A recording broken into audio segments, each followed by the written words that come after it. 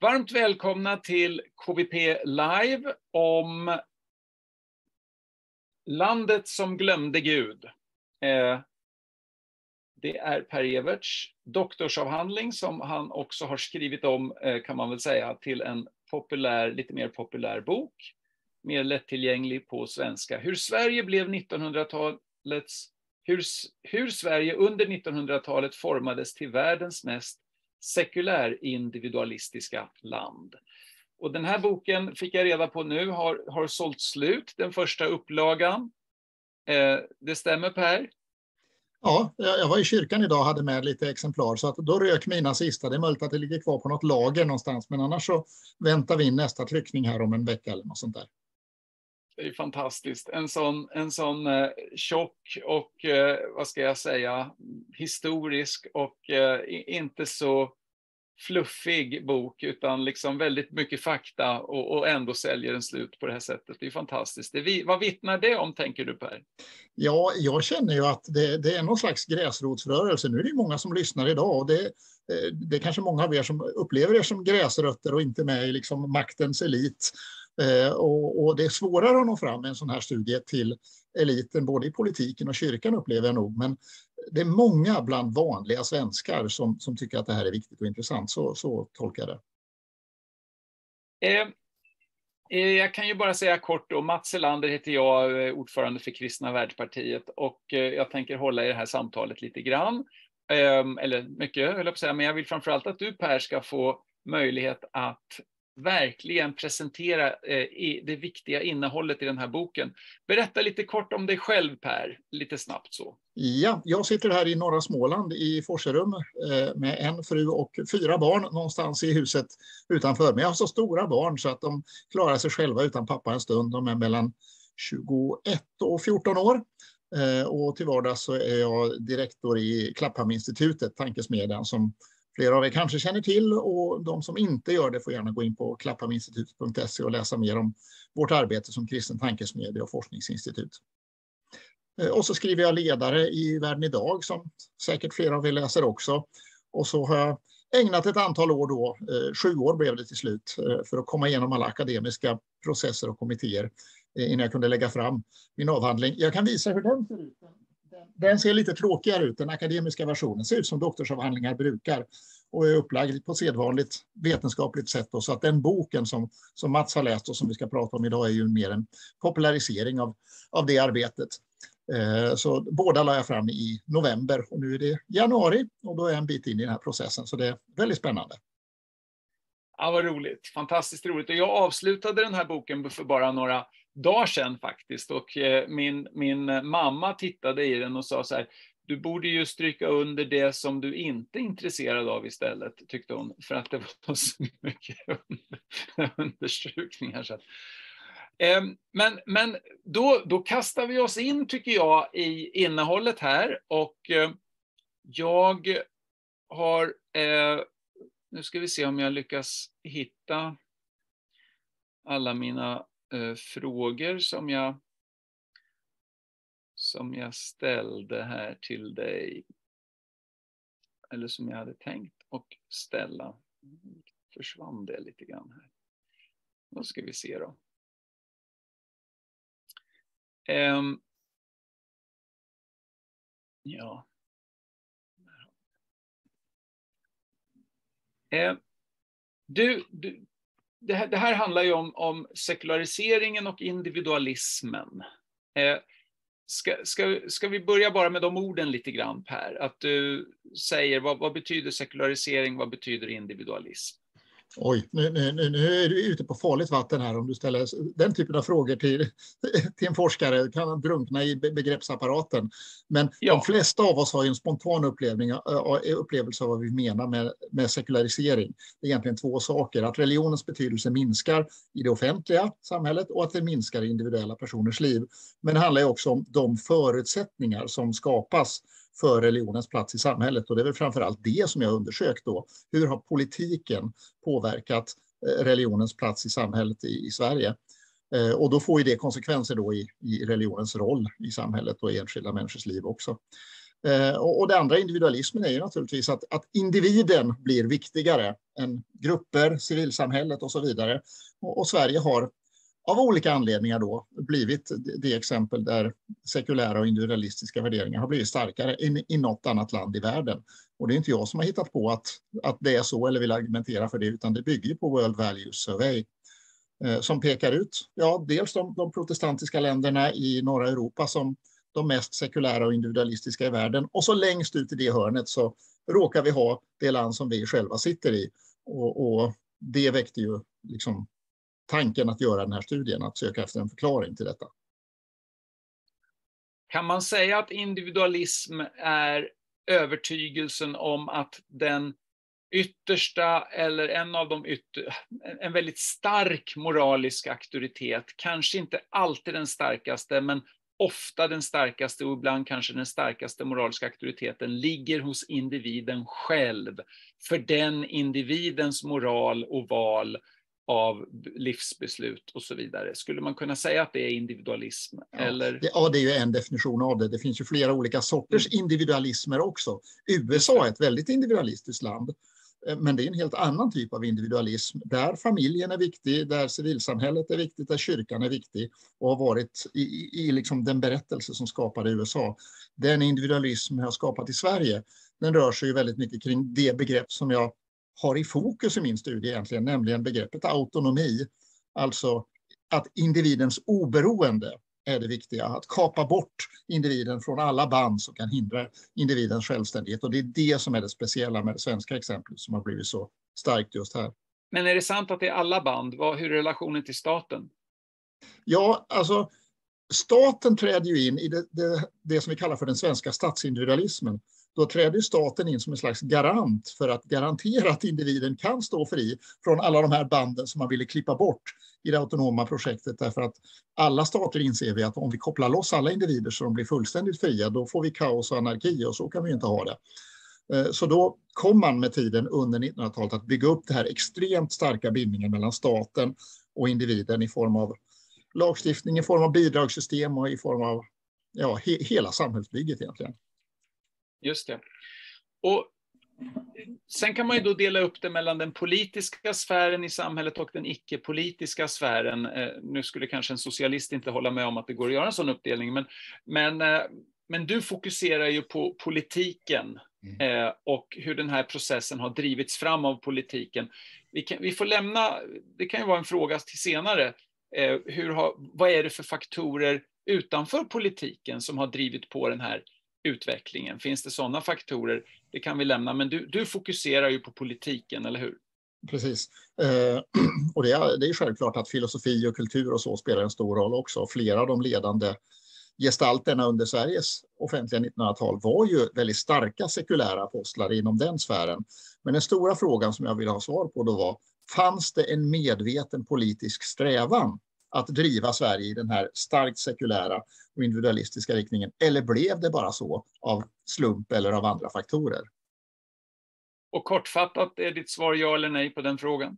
Precis, det korta svaret så slipper man läsa någonting i fortsättningen. Så är det korta svaret på frågan är ju ja. Eh, och, och, det längre svaret eh, kan vi utveckla här och det ännu längre hittar man i, i, boken och då den akademiska studien. Vilket parti, vilka individer, vilka, med vilka värderingar drev man det här? Eftersom socialdemokratin har dominerat eh, under den här tiden så är det inte konstigt att man studerar dem. Och, och, det är ju där som du ser den här, att det pushas, helt enkelt.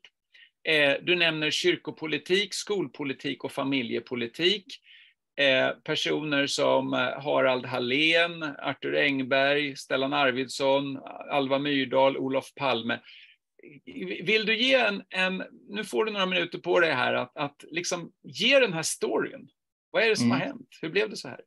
Ja, det, det, om man ska ta den rent politiska storyn så har ju Sverige haft en alldeles unik politisk maktställning från ett parti som inget annat parti har haft i det demokratiska väst. Att ett parti äger regeringsmakten. Oftast själv och ibland i samarbete med andra, men man äger själv statsministerposten i 44 oavbrutna år från 1932 till 1976. Det är unikt. Vi har tre statsministrar som, som leder partiet under den tiden också. Det gör att det är lätt att jämföra och dra långsiktiga historiska eh, slutsatser. Eh, men det är inte alltid de som är statsministrar som, som är de mest radikala eh, som drar samhället i den här riktningen, utan det är ofta politiker, några av dem nämnde Mats, som är snäppet under i politisk nivå, som då får ett politiskt mandat av den som är partiledare. Och ofta är det de som driver den här processen mest. Och eh, sammanfattningsvis så nämnde ju Mats de tre områden i samhället som jag har undersökt närmast. Och det är ju inte egentligen för att jag tyckte att de här var mest spännande, utan för att när man studerar det politiska materialet, partiprogrammen, partikongressen och de andra eh, riktningsgivande dokumenten som man har, eh, då ser man att det är just de här tre, kyrkan, skolan och familjen, som, som blir de viktigaste reformområdena som man hela tiden återkommer till att de här måste vi förändra i den här riktningen för att vi ska bygga vårt nya samhällsprojekt. Och de kom just i den ordningen. Det kunde ha varit i en annan ordning och det kanske har varit i andra ordningar som samhällssfärer har förändrats i andra länder. Men just i Sverige så blev det kyrkan och framförallt då den, den dåvarande statskyrkan som man la den stora förändrings krutet på att eh, arbeta om till en annan typ av organisation med en annan typ av innehåll och ideal. Och sen kom då skolan och familjen som steg två och tre i den trestegsraketen i att omvandla ett samhälle. Så kan man sammanfatta det kort. Och låt oss då gå in lite grann på kyrkopolitiken. Jag tänker vi spenderar några minuter på de här tre områdena så att, så att man får lite kött på benen här. Kyrkopolitiken, vad hände där? Vilka var de viktiga personerna och hur tänkte de? De viktiga personerna är ju Arthur Engberg, som säkert flera av er känner till hyggligt. Han som väckte den här visionen om Kungliga salighetsverket, som han faktiskt säger i riksdagsdebatt. Och jag ger bakgrunden till den här diskussionen som de har. Men han utvecklar det också på andra eh, punkter. Hans ursprungliga tanke, som var den, den egentliga socialdemokratiska idén, var att avskaffa statskyrkan, beslagta deras e-, egendomar och, och skicka ut den. För en, en modern stat ska inte ha en kyrka. Och det kan ju vi hålla med om av, av andra ideologiska skäl, att man inte bör ha en statskyrka. Men hans poäng var ju strikt sekulär, att vi bör ha ett sekulärt samhälle och därför ska vi inte heller ha en statskyrka. Men efterhand så kom han att influeras mer av den strategiska idén att vi kanske bör omvandla den då just till det här Kungliga salighetsverket. En vanlig statlig myndighet som bara råkar syssla med andliga frågor. Och där hade han god hjälp av sin partikamrat Harald Hallén som väldigt få känner till, men som egentligen var mer inflytelserik än Engberg. Därför att han var präst och, och därmed så var han mer gångbar naturligtvis inom kyrkan och även de som på något vis var positivt inställda till statskyrkan. Och, men han hade egentligen samma grundläggande mål, det vill säga att politiken helt och hållet skulle ta över kyrkan och att den inte skulle styras av kyrklig tradition, biskopar, skriften och så vidare, utan att den skulle styras av eh, demokratiskt valda politiker som styrdes av sina sekulära ideal. Eh, och, och, på det viset så blev Hallén mer framgångsrik. Och då gäller det helt enkelt att omändra eh, styr, styrandet av kyrkan. Började på församlingsnivå 1930, går vidare på stiftsnivå, lite mer begränsat, och sen fortsätter med tredje steget, det nationella kyrkomötet. Och när man har tagit de stegen och partipolitiserat de styrorganisationerna i, i den dåvarande statskyrkan, då har man skapat en styrelsemodell som inte finns i någon annan kyrka. Det är många av er som säkert är aktiva i andra kyrkor och samfund. Skulle aldrig komma på tanken att Centern eller Socialdemokraterna eller någon annan skulle komma in och besluta på församlingsmöten eller eh, kyrkomöten. Förekommer inte i något annat land i världen heller. Inte ens i något land där det finns eller har funnits lutherska statskyrkor.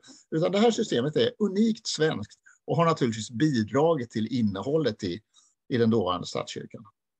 Var det inte så att sossarna från början tänkte att eh, kyrkan ska skiljas från staten och sen så ja, tänkte man om då att nej, det är bättre att kyrkan är under politikens hand så att den inte blir en, en växtplats, ett växthus för konservatism och mm. bekännelse till kristna och sådana här saker. Var, var det inte så man ja. tänkte rent uttryckligen? Ja, det, det, stod ju, det stod ju i partiprogrammet ända fram till 1960 att statskyrkan ska avskaffas.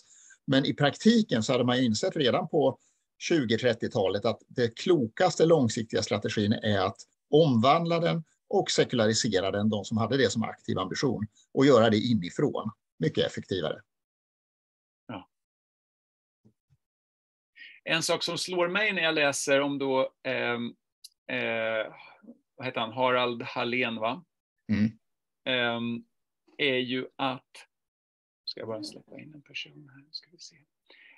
Um, Harald Hallén var ju präst, medan Arthur Engberg framstod som mer ateistisk och, och sekulariserad och antireligiös. Absolut. Och då får man en känsla av att, att oj, här fanns det två falanger inom socialdemokratin. Och det är det ju, det var ju två falanger. Eh, framförallt på partikongressen 1920, då är det en stor drabbning. Ska vi gå maximalt fientligt mot statskyrkan, som Engberg ville? Eller ska vi vara lite vänliga mot kyrkan och säga att vi ska ändå bygga den med, med socialdemokratiska värden? Och på omröstningen, då vann Engbergs linje, klart och tydligt. Men då lämnar Hallén in en egen skrivelse och säger vi kan väl ändå säga någonting positivt om kyrkan och då skrev pressen om det. Det finns ändå en kyrkovänlig falang. Men i grunden så drivs de ju egentligen av samma ideal. Det är bara att de har olika strategier att nå dit. Och det är det här jag tycker är så intressant, för man undrar ju hur kan det vara så att så väldigt många, även kristna, röstade på socialdemokratin, även, även kanske troende, alltså starkt troende, bibeltroende kristna och så vidare, till och med i Svenska kyrkan, inte kanske liberalteologiskt influerade, men man röstar på socialdemokratin. Och det är då jag tänker mig att man tänker, ja men Harald Hallén finns, det finns en präst här, det finns en legitimitet, det finns någon som bevarar fromheten, eller man ska säga, trots mm. att det egentligen var samma mål det blir lite förrädiskt som jag tänker. Vad tänker du om den tanken? Man, man röstade ju väldigt mycket efter klass. Eh, det gör man inte lika mycket längre eftersom klasserna inte finns på det sättet i, i Sverige. Men var man arbetarklass då så röstar man ju företrädesvis på Socialdemokraterna eller möjligtvis om man var radikal på kommunisterna.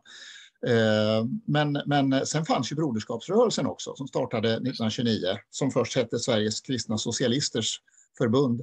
Eh, och, och, de gav ju något slags också legitimitet att säga det finns ändå några religiösa människor där. Eh, men, men Per Albin gjorde ju väldigt tydligt att poängen med broderskaparna är inte att influera socialdemokratin med kristna ideal utan tvärtom att influera kyrkligheten och kristenheten med socialdemokrati. Ja. Det här tycker jag är väldigt intressant. Eh, tack för det. Och, och, och kan du bara ge något litet exempel på konkret hur har den politiska styrningen sett ut över Svenska kyrkan? Ja, den konkreta stridsfrågan blev ju den som avgjordes på 50-talet där kyrkan ville bevara ämbetsfrågan så som man hade den tidigare. Och Socialdemokraterna drev den som en, en strikt jämställdhetsfråga. Och, men den viktiga poängen var ju inte sakfrågan, precis som nu egentligen. Det är inte alltid sakfrågan som är den viktiga, utan vad ska vara den yttersta auktoriteten över kyrkan? Och i det här fallet så, så förmedlar man väldigt tydligt att de som bygger sin argumentation på bibel, kyrklig tradition och så vidare, de är inte relevanta i ett modernt samhälle, utan där ska kyrkan drivas med sekulära ideal. Och det var det som var den stora vattendelaren. Mm, just det. Och sen tänker jag konkret så har det väl också inneburit att regeringen har utsett vilken biskop som ska bestämma i varje stift efter att kyrkomötet har valt tre stycken så kan mm så, kan, alltså, så de har ju rent konkret också haft regler som gjort att, de, att regeringen har haft makten. Framförallt från ämbetsfrågan avgjordes, då, då blev det mycket tydligare politisk styrning av teologin också. Vilka teologiska positioner väljer vi biskopar utifrån? Ja. Det var kyrkopolitiken, vi släpper den, så går vi in på skolpolitiken då. Det verkar ju vara, i, i mitt tycke när jag läser boken så får jag känslan av att det är där Sverige som helhet har påverkats mest eh, i, i, i det här sättet att tänka.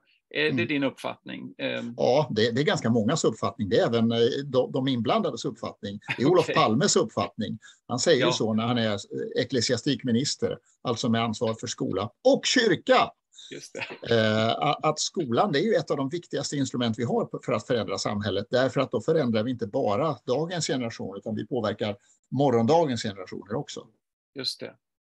Och vad gjorde man här då, då för att få fram den sekulära individualistiska agendan? Precis, det är två spår där. Den ena är den sekulära eh, agendan som säger att vi ska avskaffa religionen i skolan, vi ska avskaffa kristendomsundervisningen, morgonandakterna och också införa en rent sekulär inställning när det gäller den, den, allmänna religionsundervisningen som man sen införde. Det var inte så att man införde en neutral grundsyn, utan själva innehållet och kursplanerna och skollagen, de gjordes ju sekulära, alltså i betydelsen religionsfientliga. Och i, i den skolan har ju alla vi växt upp som har gått i Sverige eh, sedan 60 och 70-talet. Och vi har influerat av den, den vare sig vi vill det eller inte.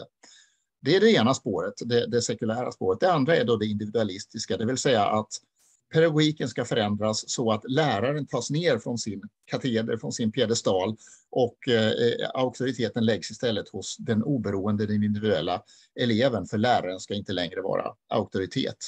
Och det var ju alldeles för extremt att förmedla en sån idé eh, när det presenterades på 30 och 40-talet av Alva Myrdal framför allt. Men är man uthållig och håller fast vid sin vision, vilket hon gjorde, då kan man faktiskt få igenom den några årtionden senare. Och, och det var ju då på 60-talet framför allt som den här visionen fick fullt genomslag. Ehm, jag tycker det är väldigt intressant. Eh, vi pratade om kyrkopolitiken, det fanns en försåtlighet där, att man så att säga framstod som frommare och mer kristendomsvänlig än vad man kanske var. Eh, här i skolpolitiken så talar man om objektivitet. Man mm. talar om, om eh, sådana här ord eh, för att visa att, att man ska inte påverka eleverna i någon riktning. Eh, samtidigt som det faktiskt är eh, man, man då gör, tänker jag. Vad, vad, tänker du om den här försåtligheten? Är det, är det orättvist att kalla det för en försåtlighet eller är det precis vad det var? Ja, för den som är mest ideologiskt engagerad så är det det. Eh, framförallt då Stellan Arvidsson, som även där, flera av er säkert som inte alls känner till Stellan Arvidsson, och ändå är han otroligt inflytelserik i att forma Sverige, både från sin tid, från 40-50-talet, och fram till vår tid. Därför att han var huvudgestalten som bakom kulisserna eh, Eh, förde den här skolpolitiska förändringen genom att lägga in sin egen ateistiska övertygelse i de här centrala orden som objektivitet, att inte auktoritativt påverka eleverna i en viss riktning. Det låter ju jättebra, men, men i praktiken så blev det ju inte alls en neutral inställning utan hans DDR-influerade inställning. Han var ju mångårig ordförande i förbundet Sverige-DDR och visste att det stora perfekta landet på, på jorden är DDR. Och om vi då kan forma svensk skola efter DDRs system, då kommer vi också att bygga det perfekta skolsystemet i Sverige. Och ja, han var ju väldigt lyckosam med det. Om, om vi sen tycker att det var bra konsekvenser, det är ju en annan sak. Han fick väl också ett inflytande över läroböckerna? Var inte han med och skrev någon lärobok till och med? Och och la in mycket... Fantastiskt eh, ateistisk lärobok. Där, ja. där ateismen framhålls som mycket, mycket viktigare och mycket mer tillförlitlig än den, den äh, ålderstigna och irrelevanta kristendomen som vi tyvärr måste ta med lite grann också. Ja. Det man kan lära sig där är väl hur svårt, det är lätt att säga att man är objektiv och neutral, men det är väldigt svårt att faktiskt vara det. Och Mm. Då är det kanske bättre att man redovisar sina utgångspunkter och sina övertygelser mm. eh, i samma veva. Och det gäller ju dagens politik också, så det där ja. är viktigt att vara uppmärksam. Vem är det som definierar de begrepp som vi använder i politiken och är det verkligen så som vi förstår de här begreppen egentligen? Eh, när jag läser om den här skolpolitiken så framstår den ju som ännu mer radikal än, än det som blev. Mm. Eh, eller, eller, eller det kanske blev så en kort tid och sen så backade man lite grann. Eller hur, hur tänker du? För det är ju, det är ju närmast lärar, inte lärarlösa lektioner, men, men det finns ju ingen som helst auktoritet hos, hos läraren i den här visionen. Nej, om man läser Lgr 69, det är säkert flera av er som är eh, lärare och, och har varit det ett antal decennier, Eh, och kanske har till och med arbetat efter Lgr 69. Och när man är i skolan då tänker man inte så mycket på kanske hur radikal är egentligen läroplanen som vi ska följa. Men om man tittar på en del formuleringar där, och du har ju läst om Mats och, och ni finner dem i boken också, man, man tror inte att det är sant hur, hur radikalt det liksom är att läraren ska helt bort i den läroplan som gäller och ska gälla i svensk skola från 1969 och framåt. Men i princip ska det inte finnas någon lärare utan eleverna ska köra skolan själv. Och, och, och, de, och de problem som man då också tidigt uppmärksammade av eh, disciplinbrist och en massa och kunskaps, eh, kunskapen gick ju neråt eh, när man mätte hur mycket eleverna lärde sig och så vidare. Det förklarade man då med att att ja, det är för att läraren har för mycket auktoritet i klassrummet, mm. så mm. måste vi gå ännu längre i den här ja. radikala riktningen. Eller, eller var det inte så? Eller har jag missförstått? Så är det ju med alla typer av utopiska rörelser. Det här var ju en utopisk rörelse och även de som fortsatt leds av en stark autonom ideologi som säger att bara vi kan öka individens oberoende lite till, då kommer det lyckliga livet. Eh, så att poängen och, och, lösningen är ju aldrig att backa tillbaka och utvärdera och säga att det här kanske inte var så bra egentligen. Kanske skulle gå i ett annat spår. Så gör man aldrig, utan då säger man precis som Mats sa, då springer vi ännu lite fortare i samma riktning och hoppas att det blir bra i övermorgon. Kan man, är det fel att säga att Stellan Arvidsson var flumskolans eh, fader?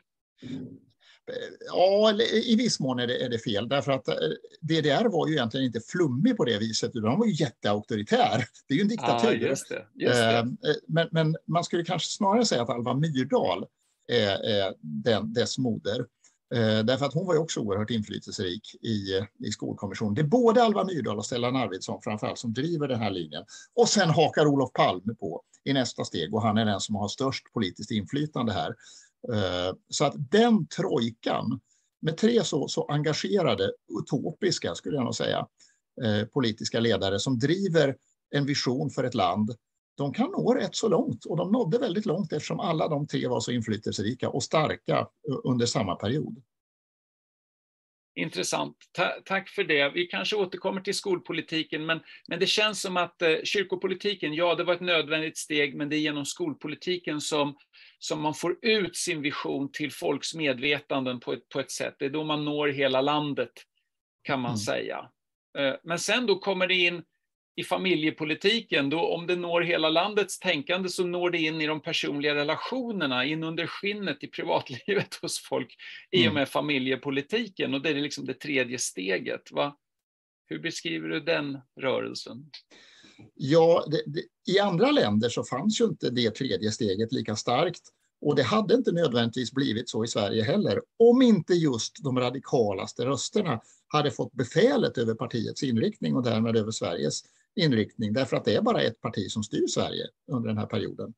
De andra partierna hade ju mycket mer traditionella och familjevänliga partiprogram. Men man ser också under 60 och 70-talet hur framförallt högern, Moderaterna och Bondeförbundet, Centern flyttar sina positioner, både i sekulär riktning men också i den här individualistiska riktningen där familjen och familjeidealen inte blir lika viktiga som de var i deras tidigare partiprogram. Även Socialdemokraterna var ganska traditionella i sin familjesyn en bra bit in på 60-talet.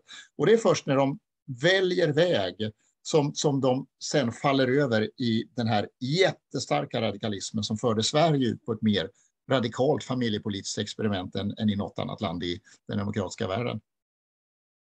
Kan du ge några exempel på just familjepolitiken? Vad, vad, vad består radikalismen i här?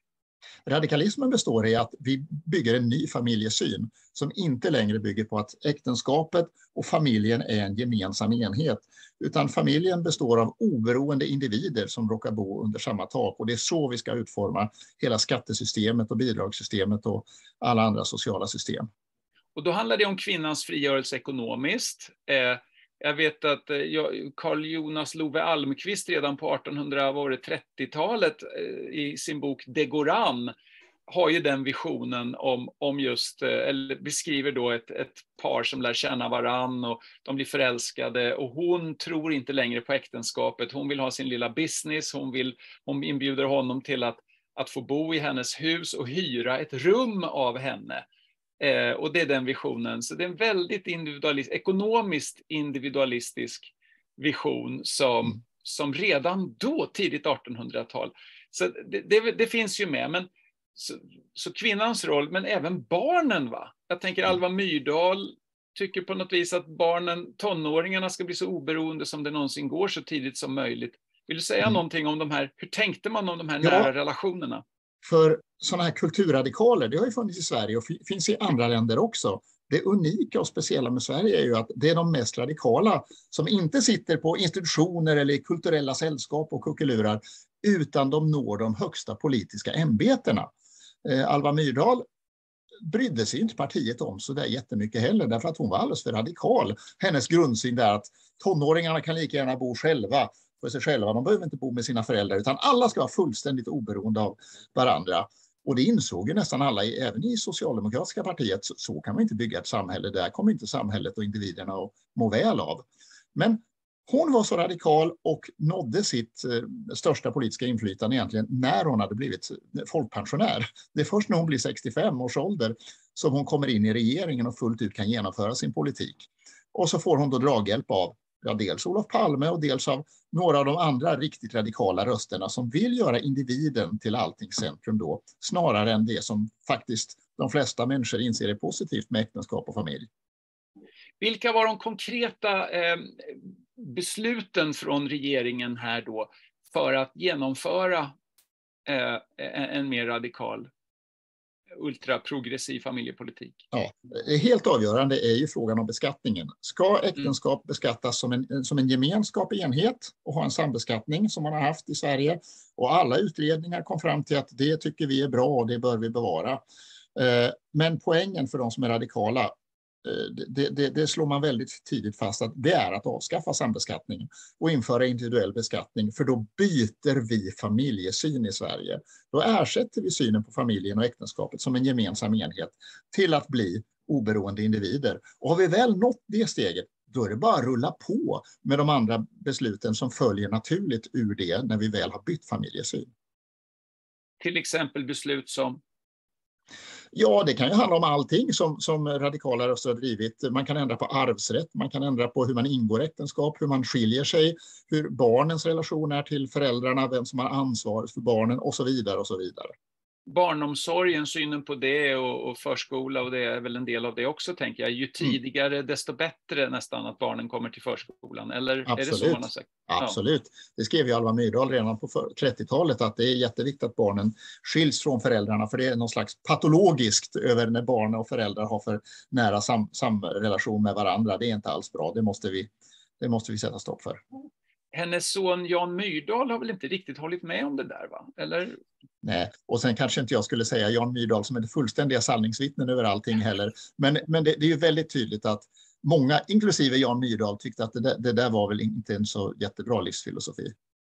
Har inte hon själv utvärderat det som, efteråt sen lite grann? Jo, jag har ju med i slutet av boken några slags reflektioner av personer som på ålderns höst har insett att det här kanske inte blev så där jättebra och även Alva Myrdal reflekterar över. Hon kanske satsade för mycket på sin egen karriär och inte tillräckligt mycket på barnen. Och hon undrar lite grann över hur, hur kunde den här kvinnorörelsen som jag ville stödja, hur kunde den bli så här radikal och eh, lesbifierad. Hon tycker att det, det, det, är något konstigt att alla ska välja en ny sexuell identitet för att de måste vara feminister. Varför måste det bli så här? Det hade jag inte tänkt.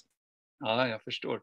Eh, jag får ju flika in då, alla ni som lyssnar på det här eh, ska ju då vara medvetna om att Kristna värdpartiet eh, står ju upp för sambeskattning. Vi tycker att familjen ska beskattas som den ekonomiska enhet som den i praktiken oftast är. Att det faktiskt blir orättvist när staten inte liksom tar hänsyn till den den sam, det samarbete som makarna har för gemensamt lösa situationen. Ehm, så vi tycker ju Eh, beskattningen idag faktiskt är rent av orättvis. Vi vill ha tillbaks en sambeskattning fast med en högre grundnivå så att, så att det inte blir den här kaffepengsdiskussionen som var då. Eh, och, och, så vill vi ju ha en barnomsorg eh, där föräldrarna får en barnomsorgspeng och själva kan bestämma eh, vilken form av barnomsorg det ska vara eh, och att man då kan vara hemma med sina barn väldigt mycket om man skulle vilja det fick jag bara det sagt, det måste ju flikas in här. vi, är en, vi är en oppositionell rörelse i relation till, till allt detta, sannerligen. Ja men Per, vad intressant. Eh, och eh, är det någonting mer du vill lägga till här? Då har vi haft kyrkopolitiken, skolpolitiken, familjepolitiken. Vad händer sen då? Ja, sen förlorar ju Socialdemokraterna valet 1976. Och då tänker man yes, nu tänker de borgerliga partierna, nu har vi väntat i 44 år. Nu ska vi verkligen Eh, sätta oss i våra, våra äntringsstyrkor här och ta över det här skeppet och göra om samhället i grunden så som vi har tänkt i många decennier. Men det görs inte. Det mest anmärkningsvärda vad som händer under de borgerliga regeringarna 76 till 82 är ju att så väldigt lite förändras. Och det är just för att hela makten i ett samhälle ligger ju inte i lagstiftning, utan det ligger också i, i tillsättningspolitik, det ligger i myndighetsinstruktioner. Så att så mycket var redan inbyggt i hela det svenska systemet. Så att det räcker ju inte att ändra på en läroplan, utan då har vi också läroböckerna, vi har lärarhögskolorna, vi har en massa institutioner som redan är stöpta i eh, ja, dels den socialdemokratiska ideologin och dels den här sekulära individualismen som även de andra borgerliga partierna med tiden komma på något vis acceptera och säga okej, okay, samhället har hamnat där. Antingen står vi fast i vår opposition eller också följer vi med det här tåget som har åkt iväg från perrongen. Och, och de flesta partierna valde faktiskt att göra det senare. Är det inte det du menar med att socialdemokratin har haft en hegemoni? Mm, precis. Hegemoni betyder att man har en, en, stor och stark maktposition, både under den perioden när man själv regerar, men också att man lyckas förändra tänkandet i en nation. Så att de värderingar som de flesta svenskar hade 1932 till exempel, de var helt utbytta mot andra värderingar 1976 och de decennier som följde därefter. Därför att alla vi som sagt var, som har växt upp i Sverige och formats av skola, av medier och av andra instanser, vi har påverkats så starkt av de här värderingarna så att vi, vi uttrycker dem eh, nästan omedvetet. Och det krävs ganska mycket självmedvetenhet för att ställa sig utanför och säga, skulle man kunna tänka på ett annat sätt? Är de här idealen verkligen de bästa att bygga ett samhälle på? Det är den totala ideologiska segern när man har fått sina meningsmotståndare att själv driva ens hjärtefrågor. Mm, mm. Och det är ungefär vad som har lyckats med. Ja. Det är faktiskt otroligt. Men en liten grej när det gäller familjepolitiken, för det var ju faktiskt så att sossarna, som jag läste i din bok, faktiskt hade idén om ett vårdnadsbidrag, eller de kanske kallar det för vårdbidrag eller något sånt. Och den idén dog inte förrän kanske någon gång på 60-70-talet eller någonting sånt där. Ja, i slutet på 60-talet. Så ja. att, som sagt var, Socialdemokraterna var ett ganska familjetraditionellt parti fram till dess att man valde väg och bestämde att okej, okay, det är progressivismen, det är individualismen som ska gälla även här. Och då blev det det som blev idealet över hela linjen. Skulle man då kunna säga, för att socialdemokratin hade ju marxismen i sitt partiprogram långt fram till kanske nästan 50-60-talet, va? Um, ja, det är ju ett socialistparti, så på pappret är man ju det fortfarande, men i praktiken har man ju blivit eh, pragmatiska på alla möjliga andra sätt. Och här skulle ju faktiskt Folkpartiet kunna säga, den liberala delen av Folkpartiet, eh, och säga att ja, men vår ideologi, individualismen, liberalismen eh, med individen i centrum, på sätt och vis har segrat.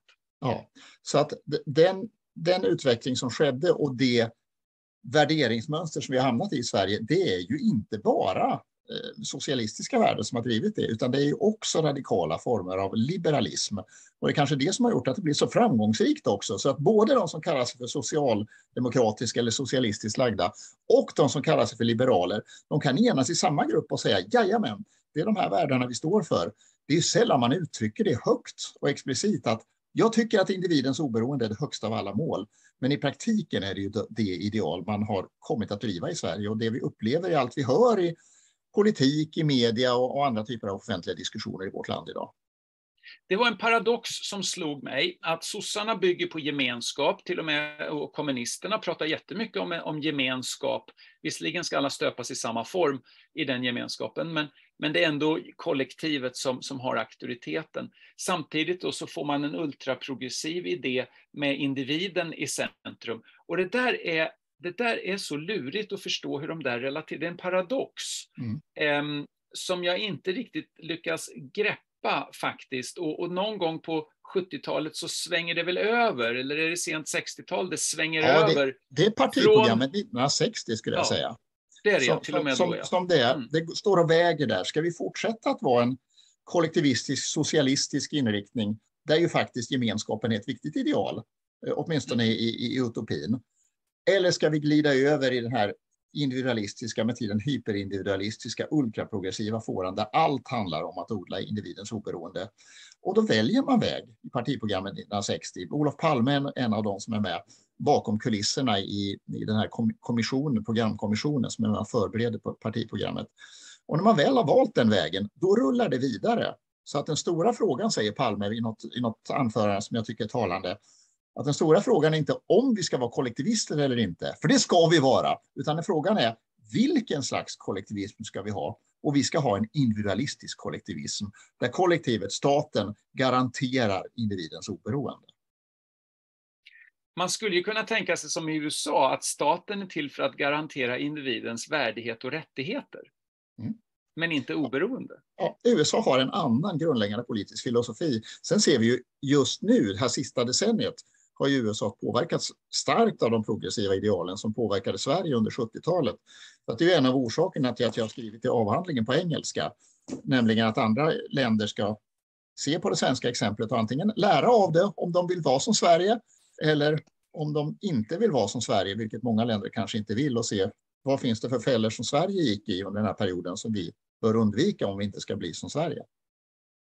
Jag måste erkänna att jag tycker det här är, svårt, för man tänker sig att gemenskap och individ är på något vis eh, lite motsatser eller kontraster. Nu märker man att det blir som en, som en, en, en, en snårskog i tanken. Jag läste Alistair McIntyre, filosofen som har skrivit After Virtue, en sån där känd bok som, som man läser och nästan inte begriper något av. Eh, men han skriver då att marxismen är egentligen en individualistisk rörelse.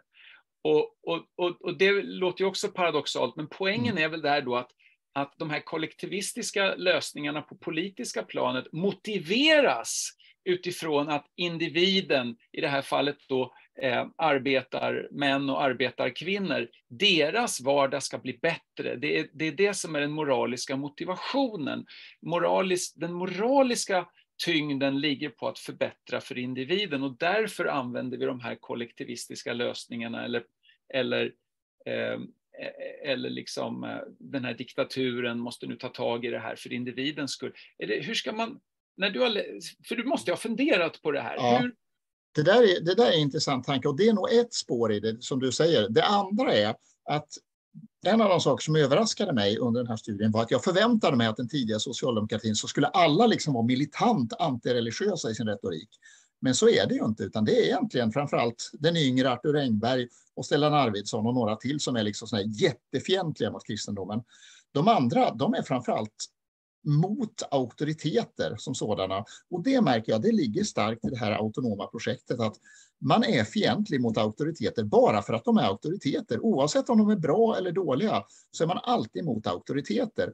Och det är den rörelse som, som jag tänker att det är nog den som har en slags naturlig tendens att rulla över i den här individualismen om den inte hålls i schack. Därför att var och en inser ju att alla auktoriteter kan ju inte vara negativa. Det måste ju finnas någon som är förståndig och, och bra och har någonting klokt att säga.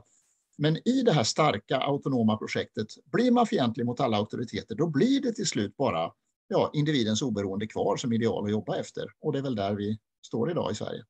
Har du stött på någon självkritisk tanke eh, bland, bland de du läst här och så, där, där eh, socialdemokratiska politiker på något vis säger så här, ja men vänta nu, politiken är ju en auktoritet, vi är ju en auktoritet och vi är en god auktoritet. Mm. Eller är man helt självblind för den egna auktoritära roll eller auktoritativa roll som man faktiskt har? Ja, jag, jag, jag lutar åt det senare.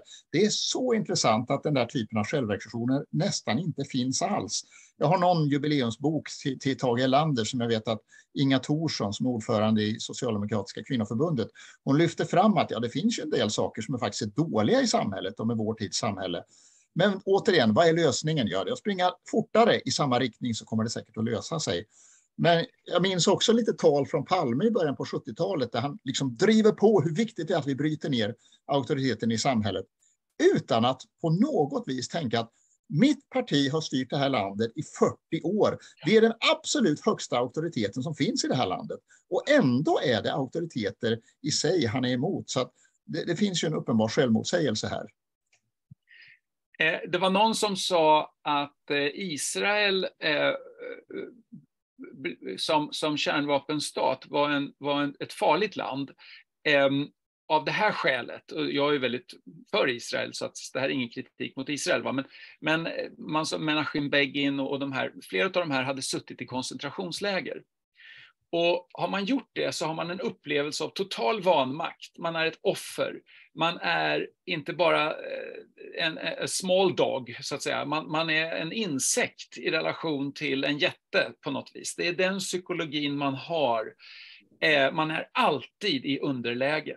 När sådana personer sen då blir presidenter och statsministrar med kärnvapenmuskler, eh, då finns risken att man slår som om man var den här lilla svaga, eh, fast man inte fattar att man är, eh, nu har man blivit en, en, en gigant, en stark makt, så att säga. Och, och jag tänker mig något liknande här med socialdemokratin. Man är arbetarrörelsen. Man kommer underifrån, underifrån per definition. Man kan aldrig hotas av den korruption som makten utgör. Det är omöjligt, för vi är ju de små, de, de fattiga, de svaga arbetarna. Eh, därför så är vi eh, helt eh, vaccinerade mot de här synderna som högern och eh, överheten och, och alla de här har, har faller för och står i och sådär. Mm. Det, och det blir en sorts identitetspolitik. Ja. Per identitet så, så har jag då en, en sorts moralisk immunitet på något vis. Mm. Är det rätt tänkt? och, och det ser vi ju även i, i vår tids politiska ja. diskussion. Socialdemokratin har ju precis samma självbild som man hade, så, som sagt var, kanske omkring år 1900 att vi är, vi är i underläget och vi är oppositionella. Sen att vi har råkat styra landet i nästan över 70 år av de senaste 100 åren, det är liksom bara en parentes. Utan vi är ändå mot auktoriteter. Vi behöver slita ner traditionella auktoriteter bara för att de finns. Eh, och det där blir ju ibland självmotsägande, speciellt då när man tittar på de symptom som vi ser i samhället idag som gjorde faktiskt att väljarna, inte minst de unga väljarna, övergav de vänsterprogressiva partierna och valde de partier som man uppfattar som mer konservativa. Eh, så att det är någonting i samhällskontraktet som väljarna uppenbarligen inte, inte uppfattar har blivit så bra. Och det är väl ungefär där som jag vill se min studie också. Att eh, vi står i en tid av politisk omvärdering och utvärdering i Sverige. Eh, vi, vi såg det i valet. Och det är det som jag hoppas kunna väcka också, både i politiken och i kyrkan och i andra samhällsinstitutioner. Hur ser vi på den utveckling som vi har gått igenom som land? På de värderingar som har byggts? Vill vi fortsätta på den vägen eller är det någonting vi behöver återupptäcka och något vi behöver kasta över bord? Och den här utvärderingen, eh, jag tycker det är så intressant i slutet av boken, du nämnde det, så, så, så har du en liten utvärdering och du går då till Alva Myrdal, eh, Arthur Engberg och några till och ser vad de sa på sin ålders höst om hela det här projektet. Vill du berätta lite om det? Det där tycker jag var väldigt intressant. Ja, det, det finns ju hela spännfältet där egentligen. Eh, allt från att man inte ångrar något, som Stellan Arvidsson, han är ju fullständigt fanatisk in i sista dödsögonblicket. Han har någon intervju i DN precis innan han ska dö och han förklarar att han håller på att skriva sin stora bok som ska ta död på kristendomen i, i Sverige och världen. Eh, och han, han är helt överlåten till det här uppdraget. Och samtidigt finns det andra jag tänker framför allt på, på Arthur Engberg som har en väldigt fascinerande personlig resa mot slutet av sitt liv där han, han helt faktiskt ändrar uppfattning om, om tron och om kyrkan och om faktiskt också kyrkans herre mot slutet av sitt liv. En fascinerande berättelse. Och så har du väl de lite mittemellan, vi nämnde Alva Myrdal som ändå hade viss, viss kritik mot, mot, mot hur skolan hade ballat ur och, och sådär. Ja. Och även folkpartister, vi pratar om dem också, som är liberala och tänkte att vi, vi driver samhället mot nya ideal, men sen i vuxna ålder kommer på att ja, vi kanske tyckte att idealen var bra, utopin såg fin ut, men konsekvenserna, de blev mm. kanske inte riktigt så bra och samhället så lyckligt och individerna så frigjorda och lyckliga som vi hoppades. Eh, Kristna värdepartiets centralaste värde är ju människovärdet. Och, och eftersom människovärdet kränks när det gäller de ofödda i abortfrågan, var fjärde ofödd dödas genom abort, så har ju det blivit vår hjärtefråga. Och eh, 1974 där så, så röstar riksdagen igenom eh, den liberala abortlagstiftningen som sedan införs då 1 januari 1975. Du tar inte upp särskilt mycket om abortfrågan är det för att då är striden liksom avgjord? Det här är bara en följd av det som då redan har hänt, eller hur ser du på det? Precis så skulle jag säga det också. Att, att eh, vagnen var i rullning, att mm. den oberoende individ som kan fatta sina egna beslut, den ofödda människan kan inte fatta sina egna beslut, utan det finns någon annan som har den auktoriteten och makten över den.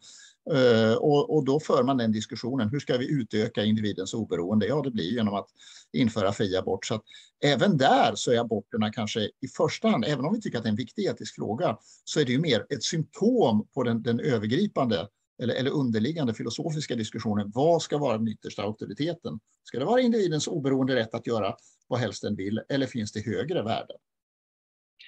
Eh, och den, som du säger, underliggande filosofiska diskussionen, när, när jag läser din bok och även när jag försöker förstå mig på politik, så får jag känslan av att politiker väldigt sällan diskuterar rationellt och kritiskt de avgörande politiska frågorna utifrån vilken de fattar sina politiska beslut. Det verkar mm. vara någon sorts intuitiv sak som, som händer snarare än någonting som är rationellt och, och öppet för diskussion.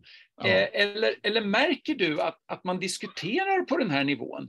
Eh, eller gör man inte det? Nej, det är ju en brist. Vi har ju alla sett valdebatter och ser, ser hur man liksom fäktas om, om symbolfrågor ja. eller de frågor som ja. man tycker slickar fingret och känner var, var, kan vi vinna flest väljare på?